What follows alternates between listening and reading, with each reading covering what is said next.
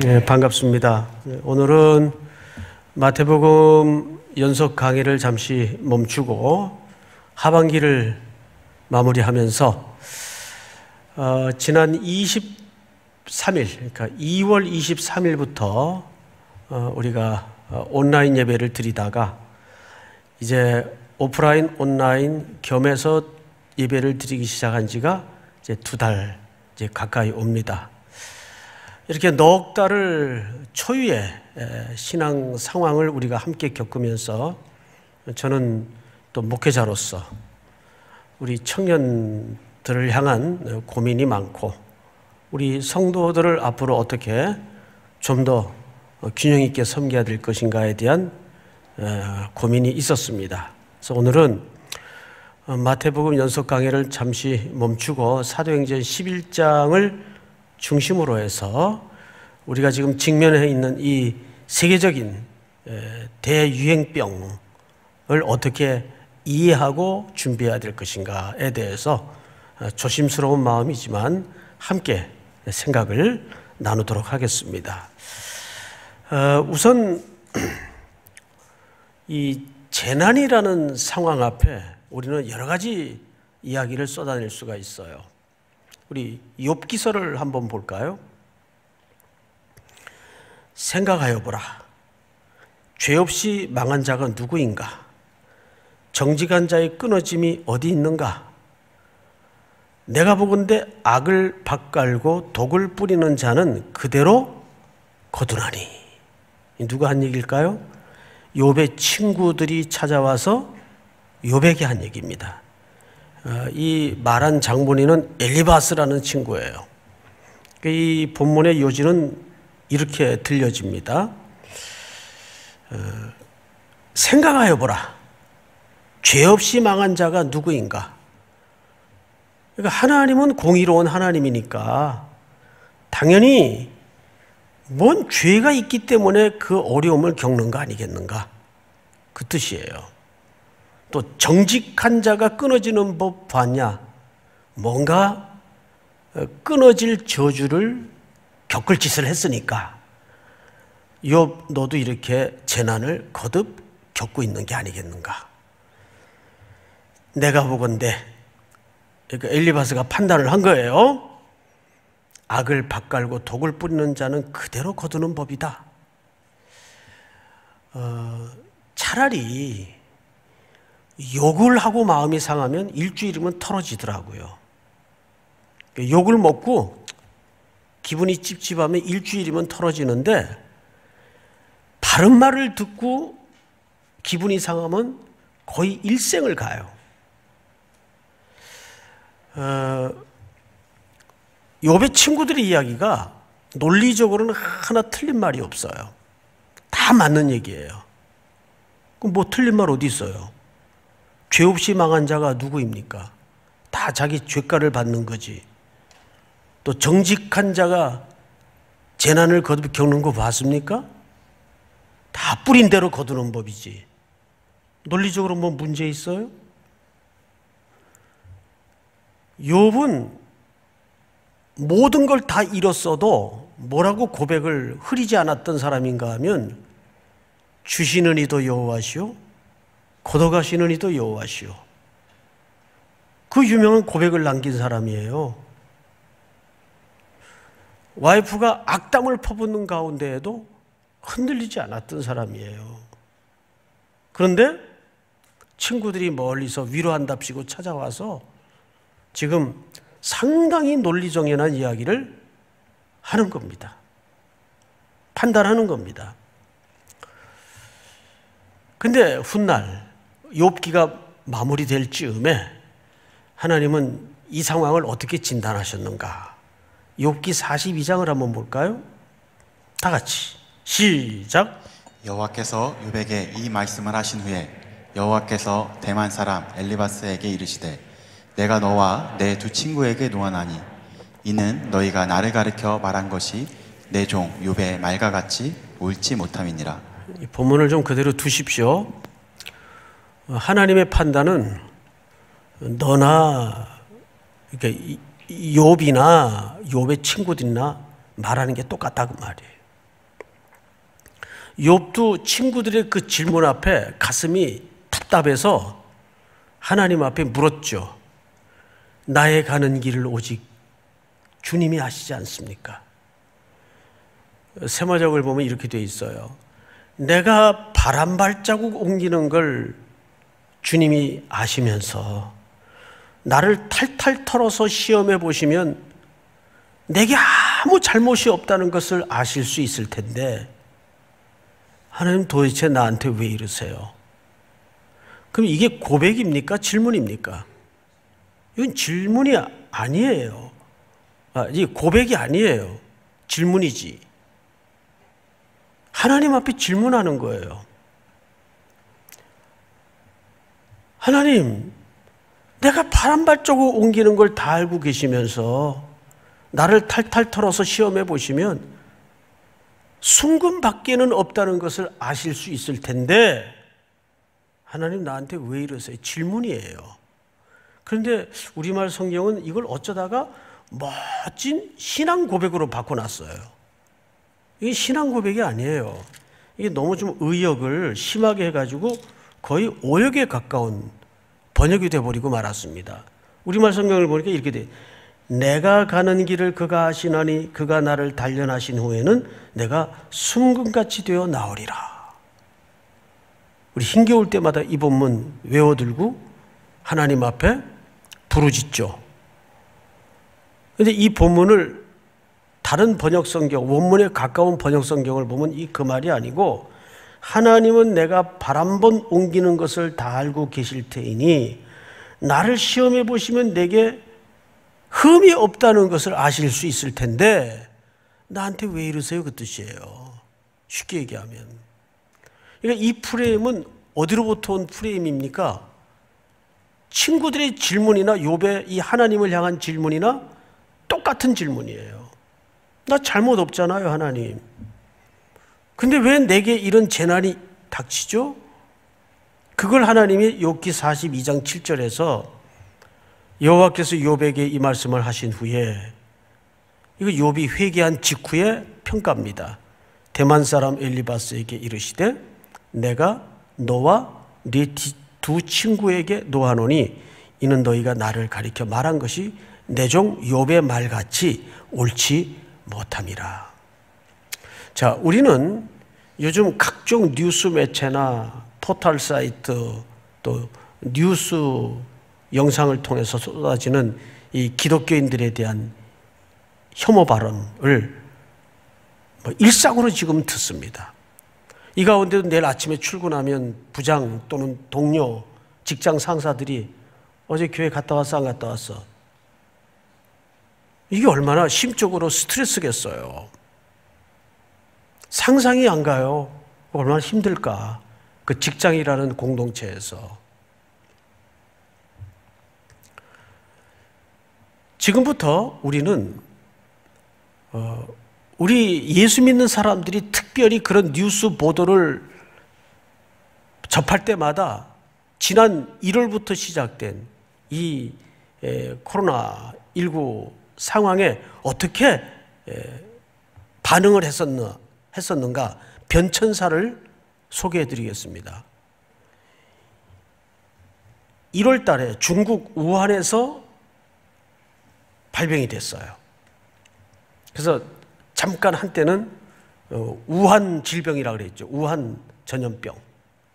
이게 이제 또 국가에서 강력히 항의를 해가지고 어, 세계적으로 이제 코로나 19로 어, 공식 명칭이 바뀌었습니다만은 이때 온 세계가 뭐라고 이 상황을 특별히 기독교에서 평가를 했는가 하면 어, 그 우한 지역에 불타는 십자가 동영상이 돌아다니면서 교회를 핍박한 공산당들을 하나님이 심판한 거다. 그래서 교회를 핍박한 공산당들에 대한 저주로 그냥 매도를 했어요. 뭐 자기들의 견해니까 그럴 수 있다고 쳐요. 그러다가 거기를 방문했던 신천지 집단들이 대구의 집회를 가지면서 2월, 3월 달에는 이 코로나19는 신천지 집단에 대한 하나님의 심판이었다. 그래서 또 이제 타켓이 바뀌었어요. 이 신천지는 교회가 아닙니다. 이 집단이지. 그러다가 지난 5월 요 가까운 이태원의 모 클럽에서 또 발병이 일어났어요. 그래서 그때 온 기독교는 또 득달같이 달려들어서 동성애자들에 대한 하나님의 심판이었다. 아니 무슨 하나님의 심판이 미사일 요격기입니까? 골라 찍게? 여러분 근데 이제 또 지난 한 주간 동안 우리 합동측 교단의 크고 작은 교회들이 또 간헐적으로 어, 집단 감염이 되기 시작했습니다. 그러면 하나님이 합동측 심판한 겁니까? 그 얘기 할 수 있어요? 그 중에 청년을 지도했던 모 청, 교회 청년부를 지도했던 그 전도사님은 목사님은 제가 가르쳤고 잘 아는 목사님이에요. 그분은 어떻게든 이 어려운 시기에 청년들을 좀잘 어, 신앙적으로 지도해 보려고 애쓰다가 뭐 어디 좀 뭐 MT 비슷하게 데려갔다가 이런 어려움을 지금 겪게 된 겁니다. 자, 여러분. 우리는 이런 재난 앞에서 자, 첫 번째, 첫 번째. 자막을 좀 띄워주세요. 지나친 해석과 분석은 위험합니다. 기억하세요. 너무 이 세계적인 상황을 놓고 그러면 지금 하나님이 제일 심판한 나라는 미국이겠네요? 스페인이겠네요? 이탈리아겠네요? 그러니까 지나친 해석과 분석과 재단은 굉장히 위험합니다. 우리가 이런 어려움이 공동의 과제로 닥쳤을수록 우리는 이럴 때일수록 창조주 하나님 앞에 피조물로서의 유한함을 깨닫고 신앙의 본질을 찾아가는 싸움을 해야지 배제하고 구분 짓고 누구를 심판한 거다? 저 죄나든 누구를 심판한 거다? 이런 식으로 세상 이치를 해석하기 시작한다면 여기 자유로울 사람이 과연 누가 있겠습니까? 오늘 본문을 잘 보세요. 사도행전 11장. 이 무슨 얘기냐면 28절부터 제가 좀 읽겠습니다. 아가부라 하는 한 사람이 일어나 이 사람은 당시 선지자였습니다. 성령으로 말하되 천하에 큰 흉년이 들리라 하더니 예언자예요. 글라우디오 때 이 글라우디오는 누구냐 하면 당시 로마 황제 이름입니다. 그러니까 글라우디오가 통치하던 때에 그렇게 되니라. 흉년이 재앙이 재난이 전 세계적으로 일어났다 그 말이에요. 자, 그다음 잘 보세요. 제자들이 각각 그 힘대로 유대에 사는 형제들에게 뭘 보내기로 작정했어요? 예? 부조. 부조가 뭐냐 하면 헌금이에요. 구제헌금. 구제하기로 작정했다 그 말이에요. 그 작정해 놓고 마지막 30절 다 같이 시작. 이를 실행하여 바나바와 사울의 손으로 장로들에게 보내니라. 작정하고 실행해서 보낸 거예요. 사도들의 손에 의해서. 자, 여기 이 본문이 비슷한 세계적 재난을 겪고 있는 이 시대에 특별히 그리스도인들에게 왜 중요할까요? 여기 제자들이 사도들이 천하에 임한 기근과 재난 앞에 자 모여봐 모여봐 네 생각에는 저 그때 제일 심했던 데가 예루살렘입니다. 그래서 사도 바울과 제자들이 예루살렘으로 파송을 하죠. 헌금을 걷어가지고 그 예루살렘에 왜 이 재난이 유독 심한 것 같아? 따졌나요? 분석했나요? 해석했나요? 아니에요. 그거는 어쩌면 우리 이해의 범주를 넘어가는 일입니다.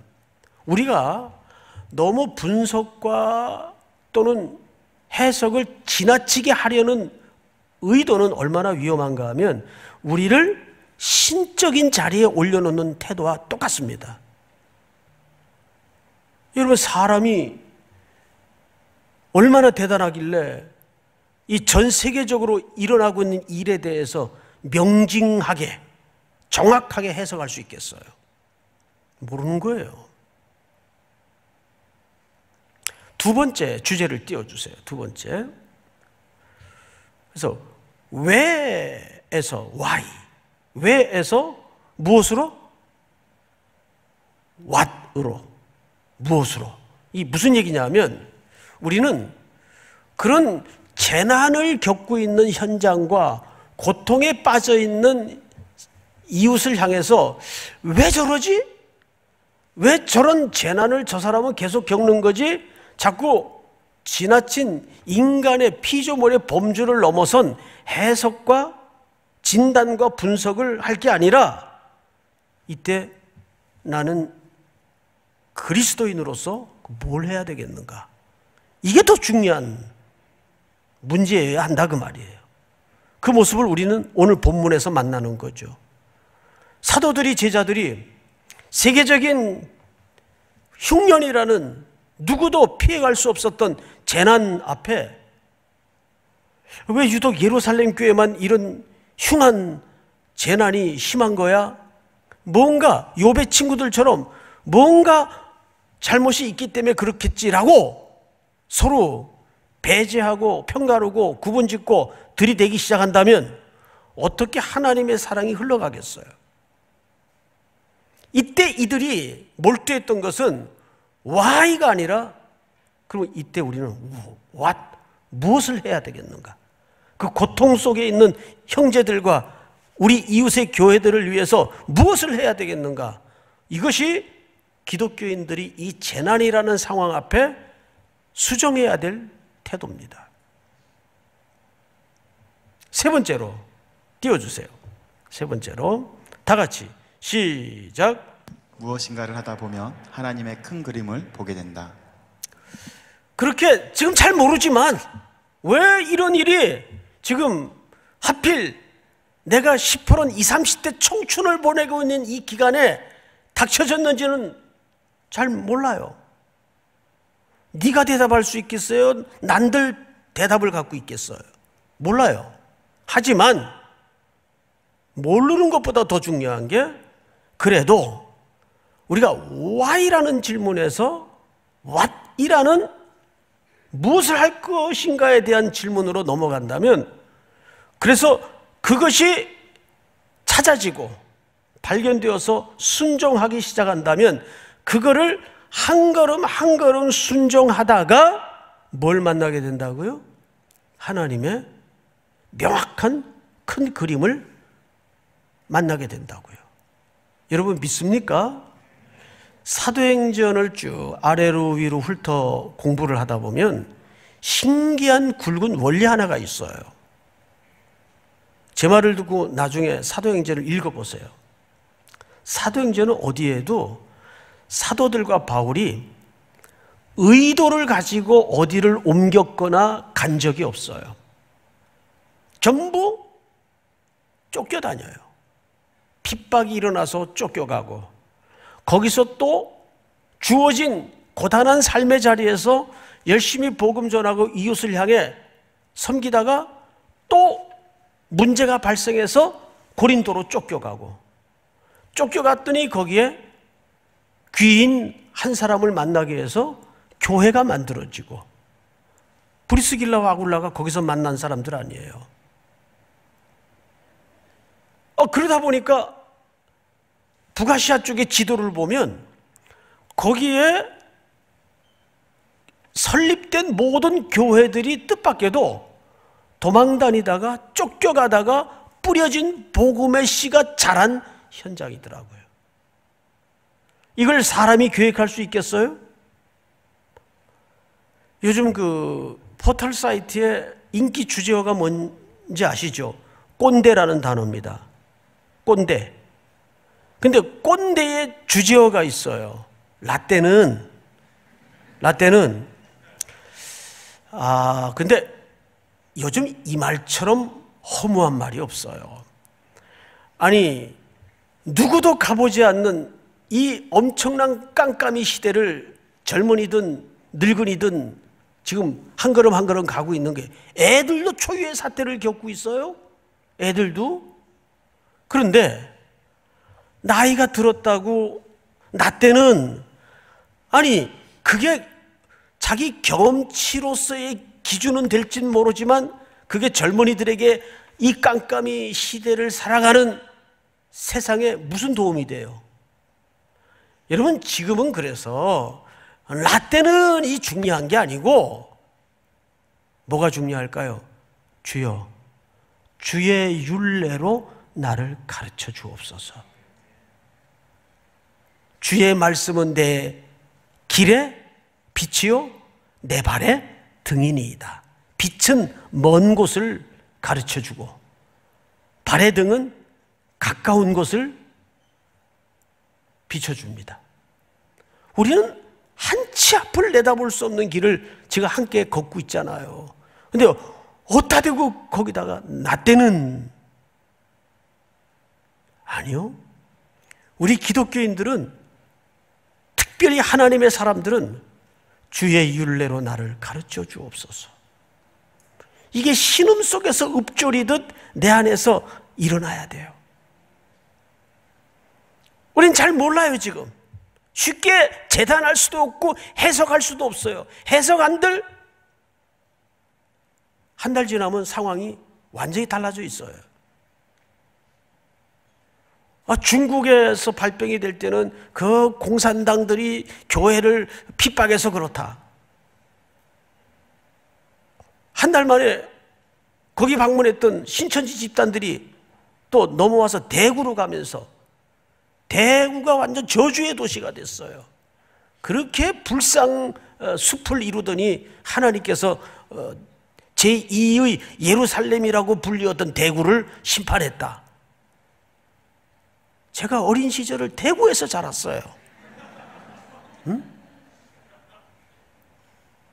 그런데 또 요즘 대구 사람들하고 전화를 하면 뭐라 그런지 아세요? 서울 괜찮나? 여긴 깨끗하다. 놀러 오너라. 두 달 만에 입장이 바뀌었어요, 지금. 무슨 인간이 이 재난의 상황을 놓고 해석을 어떻게 할 수가 있어요? 에? 그래서 우리는 why라는 질문보다는 지금은 이때 우리는 이웃과 세상 속에서 무엇을 해야 될 것인가? 그리고 그 일이 발견되면 세 번째, 순종하다 보면 뜻밖의 하나님의 그림을 만나게 돼요. 그래서 우리가 함께 감당해야 될 네 번째 주제가 뭐냐면, 띄워주세요. 다 같이 시작. 세상을 향한 애통을 회복하라. 세상을 향한 애통을 회복하라. 어, 지금 청년들의 실업 문제와 경제적인 빈곤의 문제는 굉장히 깊습니다.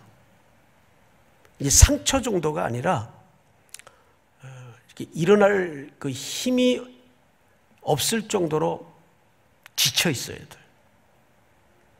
게다가 교약자들의 예상대로라면 아마 이 코로나 사태가 끝날 무렵쯤 한국교회 삼각 건물에 입주해 있는 교회들은 한 60%가 문을 닫을 각오를 해야 된다 그래요. 지금 뭐, 자, 성도들 안 나오죠. 임대료 못 내죠. 그것뿐만이 아니에요. 오늘도 일부서부터 지금 찬양 사역자분들이 귀한 찬양을 은사를 통해서 우리와 함께 한 시간을 가졌는데 찬양 사역자들도 지금 설 무대가 없어요. 안 그래도 어려운 데다가 그러니까 얼마나 힘들겠어요. 뿐만이 아니라 소, 소농공 상인들. 자, 다음 주 맥주 주일입니다. 저희 교회는 모든 절기연금을 어쨌든 이웃을 위해서 전액 사용하기로 오늘 당회에서 결정을 했어요. 이번에도 그렇게 할 겁니다. 정말 이런 큰 교회들이 함께 하지 않으면 붕괴 직전에 있는 이미 붕괴를 시작한 그런 교회뿐만 아니라 어려운 이웃들을 향해서 어떻게 우리가 이때 감당해야 될 것인가? 서기 249년도에서부터 262년까지 세계적인 대유행병이 어, 전 지구촌을 휩쓸었습니다. 이때 패권을 잡고 있던 나라가 로마예요. 근데 이 로마 시내에서만 매일 하루에 5천 명씩 죽어나갔어요. 근데 그때 그 병이 무슨 병인지는 워낙 의료 환경이 열악했던 때이기 때문에 아직까지 밝혀지지는 않고 있어요. 근데 무시무시한 지구촌의 5분의 1의 인구가 죽을 만큼 끔찍한 재난이었죠. 그 재난도 오래 갔습니다. 2000, 어, 249년에서 262년까지였으니까 그 시대를 살았던 사람들의 삶이 얼마나 피폐해졌겠어요. 사랑했던 가족들을 그냥 거리에 방치해 두고 죽어가는 가족들을 살아있는 사람이라도 살아야 되니까 거리에 내놓고 이런 끔찍한 일들이 실제 있었습니다. 근데 그때 100년이 지난 후에 교회학자들의 평가입니다. 머지않아 로마가 기독교를 국교로 삼게 돼요. 그리고 드디어 기독교의 최대의 부흥기가 찾아옵니다. 근데 역사학자들은 그것을 이렇게 평가하고 있어요. 그때 교부가 누구였는가 하면 디오니시우스라는 사람인데 직접 이런 글을 씁니다. 그 대유행병을 통해서 제일 충격을 받았던 사람들이 비기독교인들이었다. 무엇에 충격을 받았는가 하면 질병은 비기독교인들에게나 기독교인들에게나 똑같이 임했지만 기독교인들이 질병을 대처하고 세상을 대처하는 방식은 비기독교인들의 눈에 너무 충격을 줬다는 거예요. 그리고 그 전염병이 지나고 나서 그 충격받았던 비기독교인들이 전부 기독교로 개종을 하게 됩니다. 그리고 머지않아 로마는 기독교를 국교로 받아들이게 되죠. 여러분, 이런 전염병이 지나고 나면 기독교는 이제 유명비시, 뭐, 유명무실해지거나 소멸될 것이다 라는 절망적인 평가를 내놓는 사람도 있어요. 천만에요. 2000년 역사 속에 아무리 세상이 기독교가 어려움을 겪었었어도 예수의 생명의 종교인 이 기독교는 소멸되거나 지리멸멸된 적이 없어요. 제가 이번에 사실 내심 깜짝 놀랐던 것이 뭐냐면 야, 이 상황에 무슨 새신자가 찾아오겠냐. 그래서 새신자 등록을 닫아버렸어요. 한 두 달 동안. 그러고 나서 새신자 등록을 위해서 새가, 새가족부를 오픈한 게 아니라 기존 등록했던 분들을 교육하기 위해서 새가족부를 오픈한 지가 이제 넉주 됐어요. 새가족부가 열자마자 매주 2, 30명씩 등록을 시작했습니다.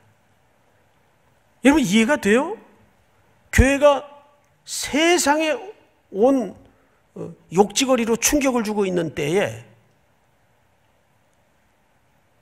근데 이 환란 속에서도 영혼의 목마른 자들이 하나님을 찾고 있다고요.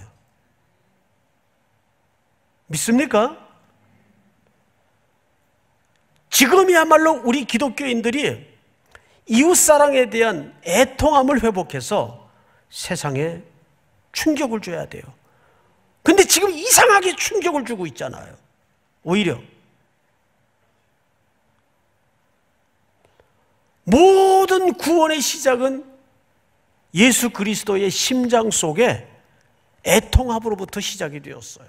해는 저무는데 들판에 허기져 앉아 있는 백성들을 주님이 물끄러미 바라보시면서 뭐라 그랬어요? 불쌍히 여기사. 그리고는 제자들에게 딱 한마디를 하셨어요. 너희가 먹을 것을 주어라. 너희가 먹을 것을 주어라. 저는 이 팬데믹 상황 때문에 새벽에 오시는 그 외부 손님들이 줄어들거나 안 올 줄 알았어요. 끊이지 않고 꾸준히 더 와요. 왜 그럴까? 분석을 하고 진단을 해봤더니 다 문을 닫은 거예요. 무료 급식소가 다 올스톱이 된 겁니다.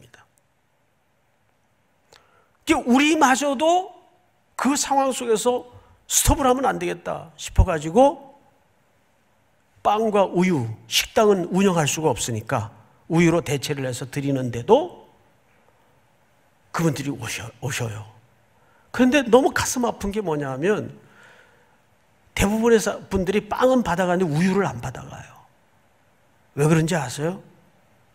우유가 이 기름기가 있기 때문에 속이 안 받는 거예요. 그들의 일상생활의 그 습관 때문에 우유라는 기름진 음식이 안 받는 거예요. 그래서 오늘 장로님들하고 의논해서 우유가 안 받으면 컵밥이라도 만들어서 드리자. 해서 이제 빵에서 어, 빵보다 한 네 배 정도 가격은 비싸더라도 컵밥을 만들어서 밥을 드려야 되겠다. 그래서 이제 오늘 급하게 결정을 했습니다. 제가 우리 청년들하고 얘기를 해보면 참 청년들 생각이 우리 어른들 생각보다 성숙하다는 게 뭐냐면 나는 청년들이 교회 재정의 투명성에 관심이 많은 줄 알았어요. 그런데 청년들이 뭐라고 얘기를 하냐면 투명성도 투명성이지만 저희들의 관심은 교회 재정의 방향성에 관심이 많습니다. 근데 그게 정말 맞더라고요. 여러분, 어, 이번 맥주 감사 헌금은 어, 그런 절박한데 정말 애통의 현장에 주님의 이름으로 나뉘어지고 흘러가서 우리가 세상은 다 폐쇄시키고 통제시키고 모든 걸 끊고 하더라도 어쩌면 목숨을 각오하고라도 우리는 이 전염병과 싸워야 됩니다. 우리 교육자들은 부족한 사람들이지만 저를 포함해서 여러분들의 영적인 풍성함과 안전을 위해서라면 목숨을 하나님께 드릴 각오가 있어요. 당연히 그래야 돼요. 로마 시대의 그리스도인들이 뭐라고 얘기를 했는가 하면 이거는 율리아누스라는 황제, 로마의 황제가 100년 후에 쓴 내용입니다. 제발 저 갈릴리 촌놈들을 좀 모방해라. 이교도들에게. 갈릴리 촌놈들을 좀 모방해라. 저들의 이방인을 향한 자비를 배워라. 저 갈릴리 그리스도인들이 우리 로마의 어려운 사람들을 돕다니 이거야말로 부끄러운 일이다. 이렇게까지 충격을 받았어요. 그리고 그 충격이 선한 여파가 되어서 훗날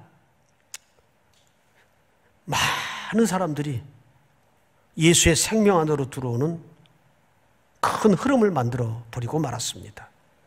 지금이야말로 땅바닥에 떨어질 때로 떨어진 그리스도의 명예와 영광을 물줄기를 바꿀 수 있는 오히려 저는 기회라고 믿습니다.